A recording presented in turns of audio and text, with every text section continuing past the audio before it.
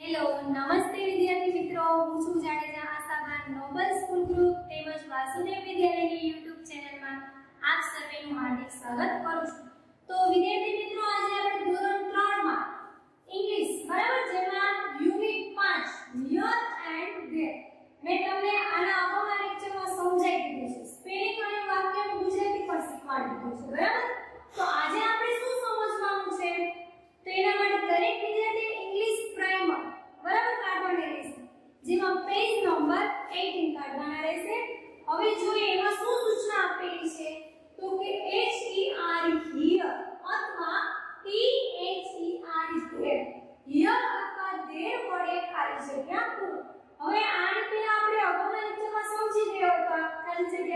આપણને ઈઝી પડે કે these હોય જે વાક્યમાં these આવતું હોય તો these સાથે હંમેશા here બરાબર નજીકની વસ્તુ these એટલે આ નજીકની વસ્તુ દર્શાવવા માટે here અને that t h a t બરાબર that એટલે પેલું જ્યારે દૂરની વસ્તુ દર્શાવવા માટે there બરાબર t h e r there એટલે ત્યાં અને here એટલે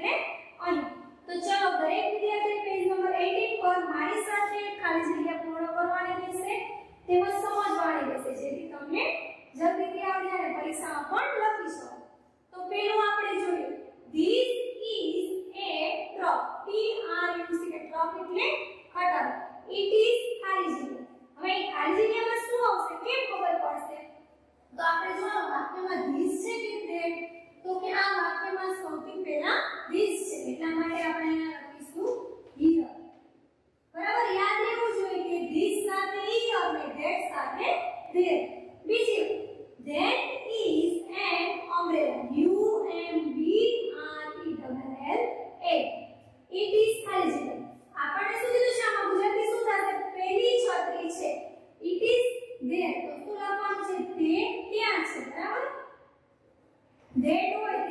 ત્યારે હંમેશા there એટલું યાદ રાખવાનું this હોય ત્યારે હંમેશા here એ કરો that is a cat એટલે કે પહેલી બિલાડી છે cat એટલે બિલાડી it is ખાલી જગ્યા તો કે it is there તે ત્યાં છે ત્યારબાદ that this is an apple બરાબર એટલે કે આ સફરજન છે it is ખાલી જગ્યા તો this સાથે શું લાગે તો કે here it is here ત્યારબાદ this is a box એટલે કે આ પેટી છે it is ખાલી જગ્યા તો this સાથે શું લાગે તો કે here તે અહીં છે here હોય તો કે અહીં અને there હોય તો કે ત્યાં that is an elephant એટલે કે પેલો હાથી છે એલિફન્ટ એટલે આથી ખ્યાલ જ છે.